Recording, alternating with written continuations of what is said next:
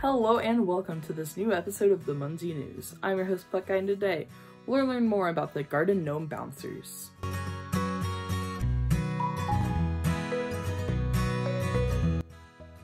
These temporary bouncers will last until December 31st, 2021.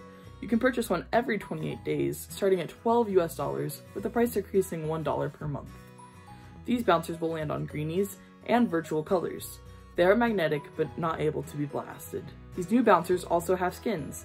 You'll get January skin for free with the purchase of a gnome, but you'll earn the next month's skin by capping a Munzee every day for the current month. Therefore, if you cap a Munzee every day in January, you'll get February's skin. The first skin release is the Ice Hockey Gnome, which will land on Ice Mysteries, Tree Houses, and Skylands, as well as greenies and virtual colors like the regular gnome. You can change skins as many times as you'd like, so if there's a new skin that you really like, you can change it to that. These gnomes will also send off three hats upon capture, corresponding to the skin of the gnome.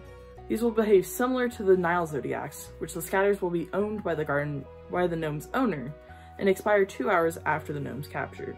These scatters have a 300 foot cap radius. Let's talk points. These Munzees are worth 500 points for deploying, 250 for capping, and 150 cap-on points. But if you have an ice hockey skin, it is worth 300 cap-on points. The scatters are worth 50 cap and cap-on points. There are four badges you can earn. Deploying unique skins by capping every day for the month, deploying gnomes, capping unique gnome skins, and overall gnome caps. That's all the news I have today. Be sure to subscribe for more Munzee news, and as always, keep on capping.